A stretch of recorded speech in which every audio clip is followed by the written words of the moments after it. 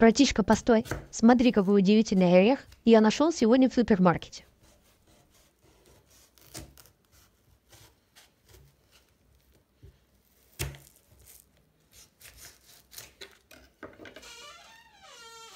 Лайк и подписка моему котику.